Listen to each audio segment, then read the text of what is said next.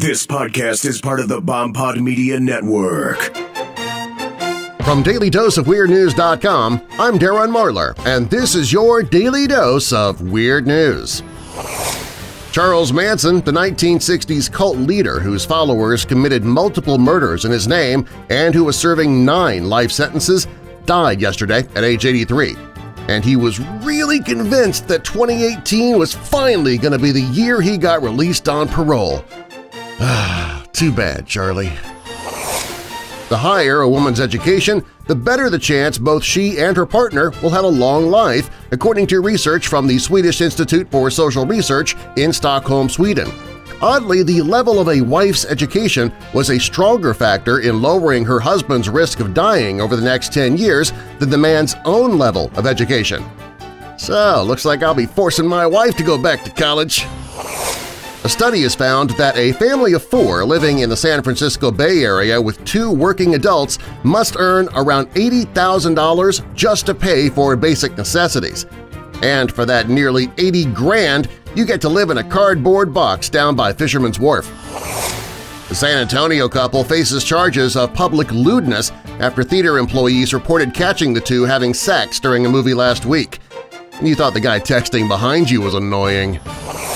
According to a study, 11:17 a.m. is the time of day where you are most miserable. But cheer up because lunch is less than an hour away and by 2 you'll be fast asleep under your desk.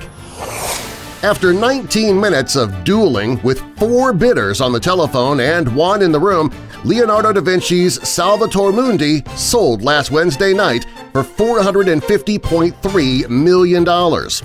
They could have bought the poster for four bucks. A husband creates seven additional hours of housework each week for women. But when men get married, it saves them an hour a week when it comes to household chores, according to a study by the University of Michigan's Institute for Social Research. In general, married women do far more housework than they would if they were single, while men do less. Well, yeah, I mean, why do you think we ask you to marry us to begin with? A prosecutor in the Dallas District Attorney's Office was fired after an Uber driver recorded her violent, profanity-filled rant against him. Now she's going to have to do what everybody else does when they're out of work – become an Uber driver. Add Facebook depression to potential harms linked with social media, an influential doctors group warns, referring to a condition it says may affect troubled teens who obsess over the online site. Researchers disagree on whether it's simply an extension of depression some kids feel in other circumstances or a distinct condition linked with using the online site. Well, how can it not be depressing when you can instantly see people unfriend you? After being refused Chicken McNuggets for breakfast, a man in Australia ordered 200 hash browns. Employees at the McDonald's refused and called police. The man was drunk so he'd already had enough carbs for the day. Hey guys, forget the champagne or the wine. If you're looking for a romantic evening with your lady, fix her a glass of organic licorice tea and leave out some good and plenty licorice candy to snack on. Turns out the scent of licorice drives women crazy.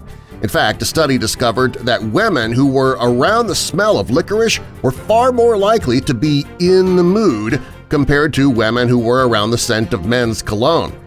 Of course, you know what the obvious conclusion is to this, right? Coming soon, licorice Old Spice.